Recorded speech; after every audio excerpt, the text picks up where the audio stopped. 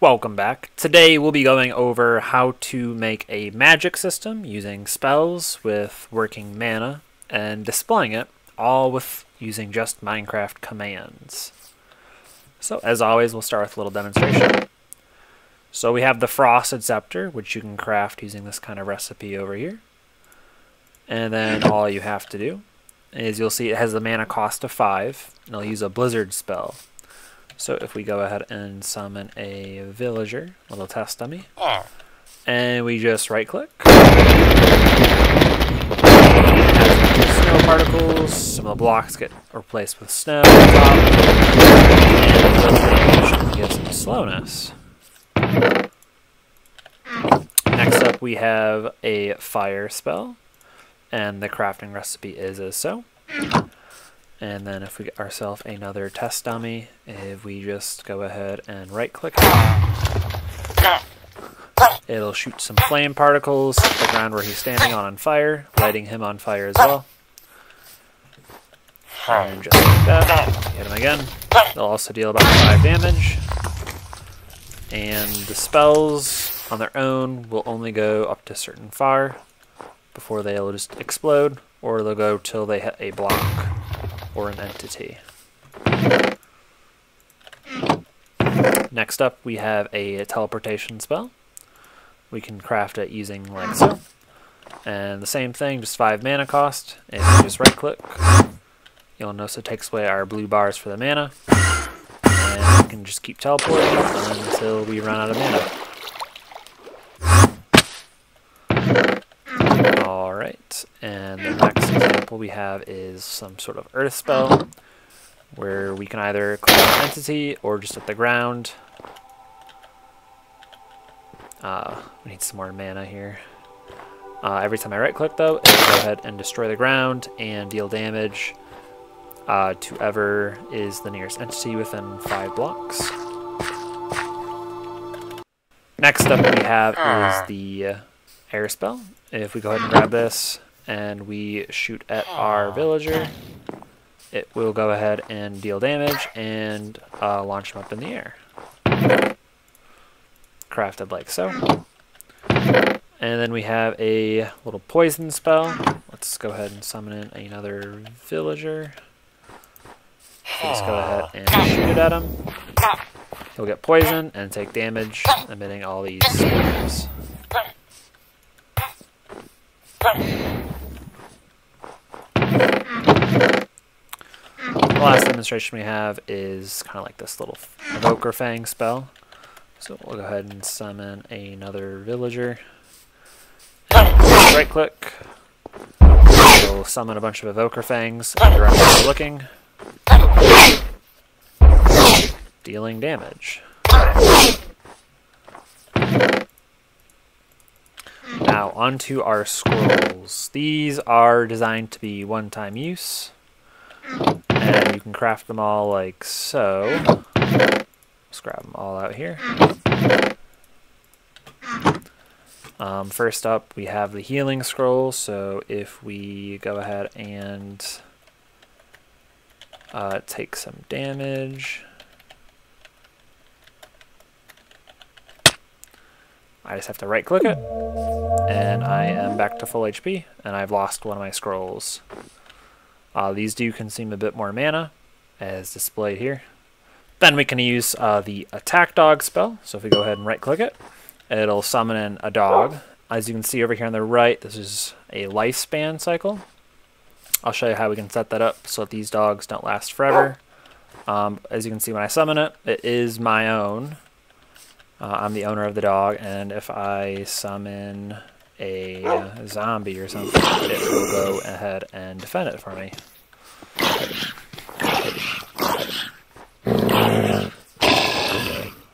Next up, we have the Evoker Fang spell. a bunch of Evoker Fangs. All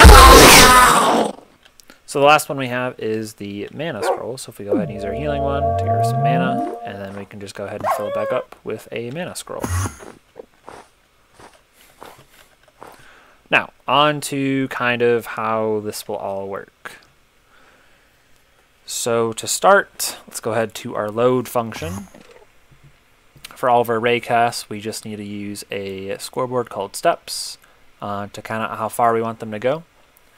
For lifespan for the dogs, we're going to want to have a lifespan dummy score. For all the mana, for what I want the mana costs, we're going to get a bunch of these uh, numbers just to compare it to, and then we want to add everyone to mana, and we'll just give them 20. And we'll add the mana scoreboard.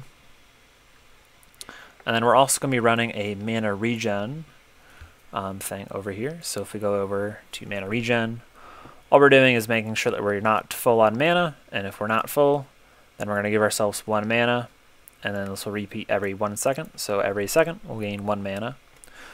Also every one second, if someone has a lifespan of one or more, this will remove it. And once they reach zero, they die. So this will be important for like any entities we want to summon temporarily, uh, keeping track of them all individually. We just use this lifespan cycle. Inside of the tick is how we display our um, the mana bar. The mana bar is developed by another YouTuber, Cloudwolf. I just used all of his code. I will link his video in the description. Uh, he'll kind of explain of how it all works. Uh, it's essentially just a title screen with a resource pack combined to uh, make that cool thing that we see before us. And then we just need to make sure that we're displaying it at all times, checking to see what our mana scoreboard is. Uh, to start, we definitely need an advancement to check to see if our item, if we're right-clicking the item. So for our right-click detection, we're using the food. So for our first staff, it was the blizzard spell. We just want to make sure that it's taking about 100,000 seconds to eat. And since that's the only item in the game that's going to do that, this will be unique to that item. Upon doing so, we're going to go over to our Ray 1 mana check. This will just see if we have at least 5 mana, and if we do, we'll cast it. If not, we'll get rid of our advancement so we can right click again. Upon getting, uh, if we do have the 5 mana, we'll go ahead and cast. And so we're going to remove our mana. And then we want to just summon an entity that we're going to be using for our ray cast and then we are going to be making sure that we're not going to be affecting our caster so that our raycast will hit an entity that isn't us. And then this will just kind of set it up so it will be facing the direction you are when it moves. And then we go over to process. This is where our steps come in. We can change this for how far we want our spell to go. Once we process it, we're now going to move and whenever we move, we're just going to be teleporting half a block forward. Um, for visualization, we're having a particle for each step. It's not necessary. And then this is how we check for collision within entities. Uh, assuming it's not the caster, and they're within one and a half blocks from our uh, area effect cloud, and that they are one of our targets. The targets is just a tag grouping of people that we're looking at um, which I already made a list of all the entities that I want to target um, from the custom enchantments. So I'm just putting them in with all my targets.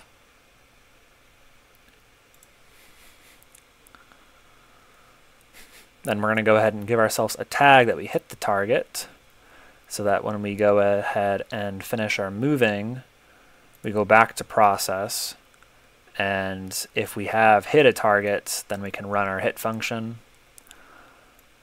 I ended up deciding that if it hits a target or a block, or if it runs out of steps, it'll all go to hit. But you can just have it so it has to hit a target for it to have the hit, or it has to hit a block for it to go hit, or it has to re like max out its area, which probably wouldn't just do this one. And then you want to kill the ray. Once we hit something, this is where we can change it up. The rest will all be pretty similar for the rest of the rays. It's the hit function that's typically different. This is where we can go ahead and give our entity slowness that we hit. Uh, this is how we get the snow effect. We're just filling in a 3 by 3 by 3 area. And then we're damaging the nearest entity. Um, we're going to get a bunch of snowflake particles. a little play sound for the totem use. And then we want to remove caster. Uh, the reason why we want to remove our caster is so that in multiplayer, if another person hits you, you will no longer have the caster tag, so you won't be immune to their raycast.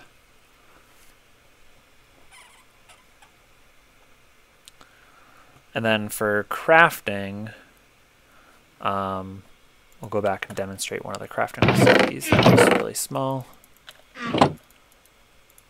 As you can see, if we were to craft the item, it shows up just like that.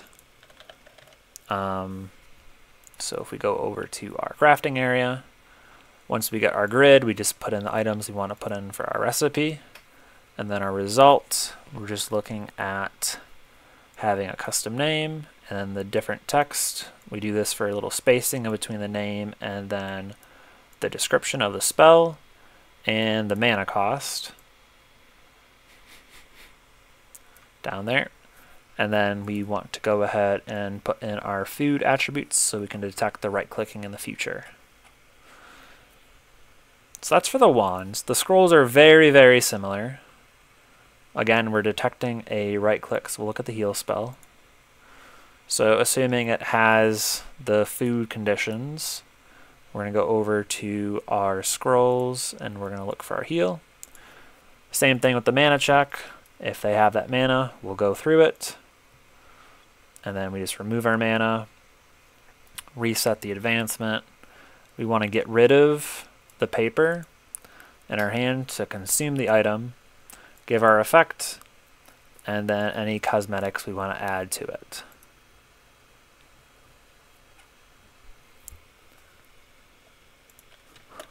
And that'll be all.